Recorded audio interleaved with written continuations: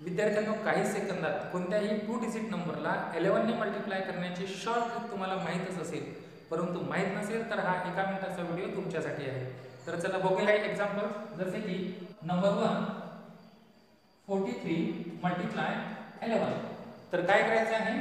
Four plus three seven four plus three seven हा four इथं लिहून घ्यायचा आहे. हा थ्री इथं लिहून घ्यायचा आहे. म्हणजेच फोर सेवन थ्री हे आन्सर आहे. चला सेकंड एक्झाम्पल पाहूया. फिफ्टी फोर मल्टिप्लाय एलेवन तर फाईव्ह प्लस फोर नाईन हा फाईव्ह इथं लिहायचा आहे आणि हा फोर इथं लिहायचा आहे.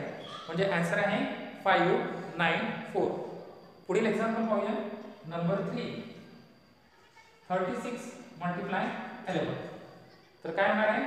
थ्री प्लस सिक्स नाईन हा थ्री इथं लिहिणार आहे. हा सिक्स इथं लिहिणार आहे. म्हणजे ॲन्सर आहे थ्री नाईन सिक्स पुढे वेगळी उदाहरणे पाहणार आहे. तर चला बघूया. Example one ninety three multiply eleven तर nine plus three twelve nine plus three twelve तर मित्रांनो ही जी सम आपल्याला मिळालेली आहे ही नाईनपेक्षा मोठी आहे. आणि जर नाईनपेक्षा मोठी असेल तर थोडीशी पद्धत बदलते आहे. बारकाईने लक्ष द्यायचं आहे. काय होणार आहे?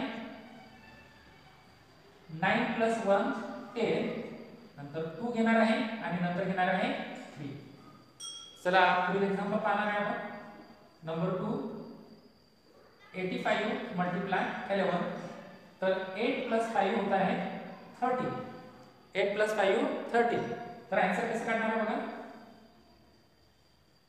एट प्लस वन नाईन नंतर लिहिणार आहे थ्री नंतर लिहिणार आहे फाईव्ह पुढे आणखी एक शेवटचं एक्झाम्पल पाहणार आहे आपण.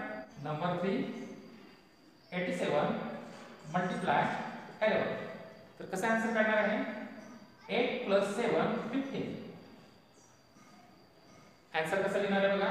तर eight plus one eight plus one म्हणजेच नाईन त्यानंतर घेणार आहे आपण फाईव्ह आणि त्यानंतर लिहिणार आहे सेवन तर अशा प्रकारे आन्सर आलेला आहे.